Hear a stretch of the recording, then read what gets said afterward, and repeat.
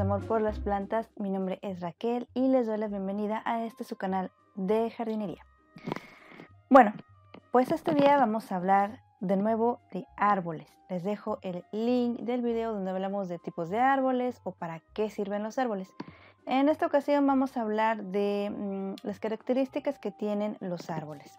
Esto, bueno, pues más bien dicho porque antes de conseguir un árbol tenemos que considerar su tamaño de adulto. Porque es muy bonito decir, oh, mira, ahí venden duraznos, ciruelos, cerezos, lichis. Y lo podemos comprar, porque de hecho las plantas no son muy caras. Pero aquí el problema es que este tipo de árbol a lo mejor no lo conocemos y crece de una forma descomunal, tanto hacia abajo, hacia los lados y hacia arriba.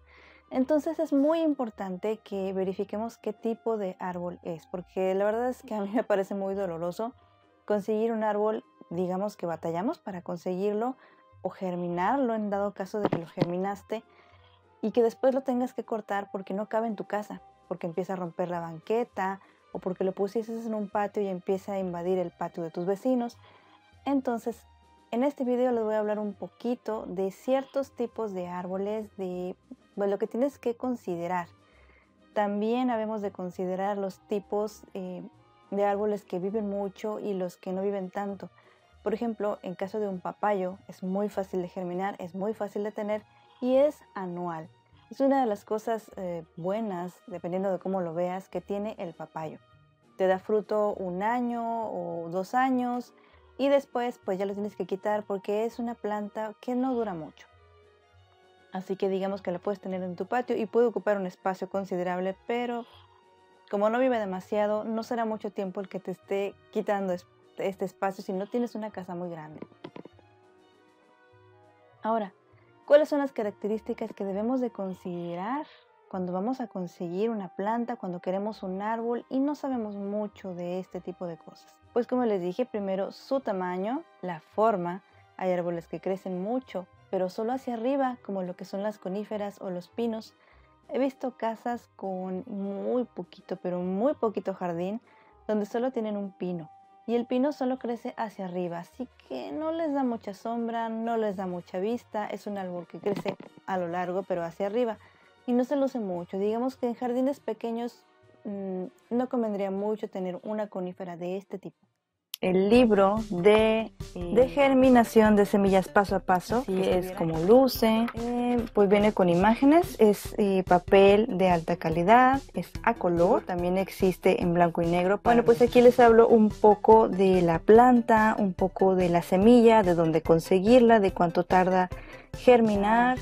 Todo. bueno, pues simplemente tienen que ir a Amazon, les voy a poner por aquí la liga y bueno, pues se los recomiendo ampliamente pues para que tengan a la mano lo que puedan necesitar cada vez que van a germinar. Así que bueno, pues no hay excusas, ya lo puedes obtener. También está en modo ebook para si en realidad lo quieres obtener ya en tu celular o tableta o PC próxima. Espero que lo consigan muy pronto. También debemos de considerar la velocidad de crecimiento. Considerando que tal vez queramos este árbol para que no nos estén viendo los vecinos o eh, para que nos cubra un poquito el viento, para que nos dé sombra, no nos convendría poner una conífera o una especie de tejo. Estos árboles son muy bonitos, son muy duraderos, son muy interesantes, pero tardan muchísimo tiempo en crecer. Todo lo que es eh, un tipo de conífera le toma demasiados años crecer y a veces casi que nos va la vida viéndolo crecer. También debemos de considerar si este árbol es de lento crecimiento. Estas cosas debemos preguntarlas a la hora de comprarlo o investigarlos porque a veces las personas que los venden no conocen demasiado de plantas. Eh, me ha tocado que, bueno, la mayoría de las eh, personas que venden plantas conocen de sus plantas, pero algunas solamente están cuidando, digamos, el changarro y no conocen mucho, así que es bueno saber algo de plantas antes de ir a comprar una. También es muy interesante, como les acabo de mencionar, la longevidad del árbol que estamos consiguiendo. Como les comenté, la papaya es un árbol que se considera anual, pero el tejo, por ejemplo, es un árbol que vive ah, pues hasta mil años. Es un árbol que vive demasiado. Y bueno, hay que considerar muchas cosas, ya que, bueno, pues como árboles también son parte de la familia. Como les digo, a veces duele que plantamos un árbol y al cierto tiempo nos damos cuenta de que lo tenemos que quitar. Y este árbol, pues, digamos, ya nos encariñamos con este árbol. Este árbol también se encariñó con nosotros, que nos esté dando flores o algún fruto. Y duele, y por ejemplo, darse cuenta de que no puede estar en cierto lugar porque no cabe. O bueno, este es un caso aparte, cuando una persona va a construir y lo tiene que quitar, lo tiene que podar a mí, sí me da dolor, sobre todo cuando son de mi casa o que he vivido cerca de ellos mucho tiempo, ver que lo quitan, sientes que después te falta algo. Entonces por eso quiero que tomen muy en cuenta qué árboles van a comprar, qué árboles van a conseguir, qué espacio tienes. Y para que después de dos o tres años no lo estés podando, dado que pues ya tiene su tiempo ahí creciendo. Y otra porque a veces también es muy difícil retirarlos. Y habemos de ser cuidadosos y escoger un árbol que se adapte al espacio que tenemos para ofrecerle en casa. Para que luego no lo estemos podando eh, a esas llamadas podas fuertes donde se ve que le quitaste demasiado espacio porque no cabía, donde casi casi solo está el tronquito. Bueno, vamos a eh, ver cómo es que se considera un árbol pequeño, mediano o grande. Esto también va en consideración del ancho del tronco. A veces el tronco también engrosa bastante. Un árbol pequeño sería considerado un árbol que tenga menos de 6 metros de altura y menos de 4 metros de ancho. Digamos 4 metros es su máximo ancho de este árbol. ¿Qué tipo de árbol puede ser considerado, un árbol pequeño? Pues por ejemplo los naranjos, los limones, eh, los cítricos en sí se consideran árboles pequeños. Claro que tiene mucho que ver el tiempo que tenga el cítrico. Si son limones o naranjos muy longevos, llegan a crecer bastante, pero les toma bastante tiempo. Y bueno, duran como árboles pequeños por bastantes años. Un árbol mediano es un árbol que mide de 6 a 15 metros de alto y de 4 a 6 metros de ancho. Y un árbol grande, ya esto se considera un árbol muy pero muy alto, eh, sería un árbol que mide 15 metros o más y de ancho más de 6 metros. Esto vendría siendo como el eucalipto, considerando simplemente pues lo alto. Los eucaliptos en su mayoría crecen muy pero muy altos. En mi familia, en la familia de mi casa, eh, mi abuela por parte de mi mamá tenía un árbol de eucaliptos detrás de su casa. Y el árbol se mecía con el viento y a veces cuando hacía mucho viento olía mucho las hojas de eucalipto. Pero mi abuela tenía mucho miedo que este árbol se le fuera a caer en la casa. Es un árbol enorme. Una cosa de esas pues puede llegar a matar a alguien si se cae encima. Y se dice por ahí, no lo he estudiado muy bien, mi abuela siempre decía que un eucalipto era un árbol muy cristaloso, muy quebradizo. Y por eso ella pidió que lo quitaran detrás de su casa. A todos les dio dolor quitarlo, era un árbol enorme, como les digo. Sí medía más de 15 metros, yo creo y lo tuvieron que quitar por el demora que se fuera a caer. Probablemente nunca se hubiera caído, pero total, igual lo quitaron.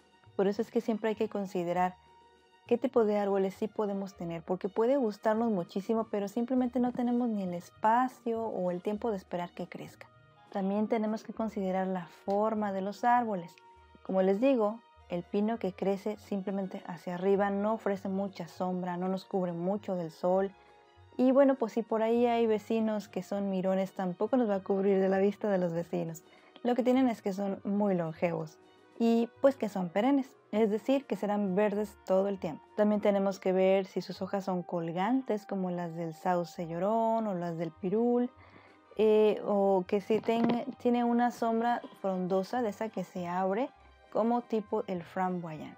Hay que considerar mucho todo esto porque a veces lo que queremos es un árbol que crezca así de rápido y que rápido nos dé sombra. Cuando digamos acabamos de llegar a un lugar, una casa nueva donde no hay árboles, requerimos este tipo de árboles. Para esto les recomiendo mucho el framboyán, que es de rápido crecimiento y de sombra muy frondosa. Pero eh, la raíz sí llega a ser un poco destructiva, así que eh, trata de que no quede en la banqueta.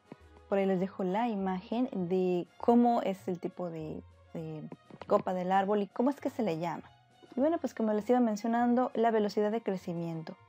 Como les digo, no vas a poner un tejo en una casa donde acabas de llegar y no hay sombra, un pino, una conífera, un piñón, porque fácil le toma 10 años convertirse en un árbol, así que no vas a estar mil años ahí esperando a que el árbol por fin crezca y te dé sombra. Para eso es mejor conseguir un fresno, un ficus, un framboyán, aunque el ficus se considera un árbol pequeño, pero tienes que ver qué tan rápido crece o qué tan lento crece. Por eso es eh, necesario que estudies qué tipo de árbol estás consiguiendo, cómo son estos árboles. Por eso, bueno, es este video, espero que les ayude en eso. Sobre todo aquellas personas que, digamos, acaban de llegar a una nueva localidad y quieren, eh, digamos, un jardín bonito, frondoso en menos de un año, que sí se puede. Y bueno, digamos de rápido crecimiento sería el árbol del chopo, el eucalipto, las plataneras. Pero bueno, pues ya saben cuáles son los contras de un eucalipto o una platanera, que es una hierba que digamos que crece de manera descomunal una vez que ya se agarra. Así que sí tenemos que tener mucho espacio si queremos un platanar. Este llega a crecer como tipo muro y de hecho, ni siquiera hace falta un muro cuando tienes un platanar que crece a lo largo, porque crece de una manera empalizada, o sea, bien pegadito. Y bueno, lo malo es que requiere mucha humedad, pero es una eh, planta que si en donde vives se dan las condiciones, bueno, no ocupas poner un muro, con que pongas puros platanares ya tapaste, eh, digamos, los límites de tu casa. Hay árboles que llegan a vivir máximo de 30 años y después empiezan a decaer. Y casi siempre pasa así con los frutales, por ejemplo el níspero, que no es árbol muy grande, lo bueno que tiene es que da fruta, pero tampoco vive demasiado tiempo. Si digamos que queremos tener un terreno grande, lleno de árboles, que estamos planeando dejar esta herencia para nuestros hijos, requerimos algo más longevo, en este caso de que queramos como una especie de herencia boscosa para nuestros hijos. A mí me gustaría mucho dejarle así a mis hijas, a mis nietos cuando los tenga. Y mm, árboles que viven más o menos unos 30 años sería el legustre, el membrillero, las acacias. Estas eh, duran unos 30, 35 años o empiezan a degenerar. Y bueno, pues por otro lado también existen árboles que viven muchísimo tiempo, que pueden vivir por generaciones. Hablando precisamente del tejo, todas las coníferas viven muchísimo tiempo. El ahuehuete, como les acabo de mencionar, las llamadas secuoyas. Pero bueno, este es un caso muy aparte. Las secuoyas no se dan en cualquier parte. Va a ser muy difícil que tengamos una semilla de secuoya y para empezar pues que germine.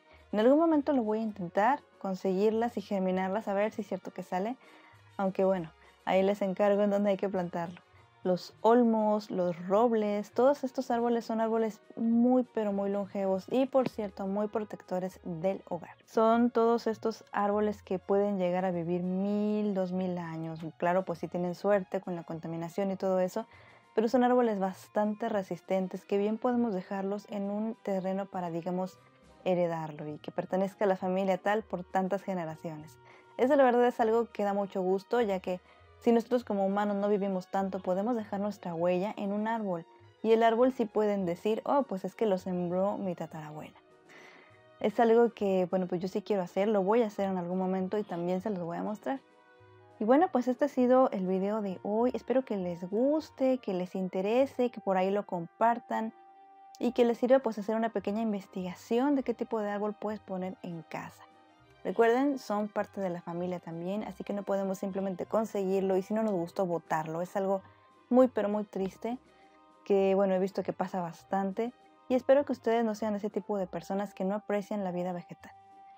Bueno, los quiero mucho, espero pues seguir viéndonos por ahí y que me muestren y me compartan todas sus eh, mm, ganancias, todas sus novedades, todos sus aprendizajes en Grupo Hermano Árbol. Es un grupo que abrí para ustedes, para dudas, comentarios, para asumir el jardín.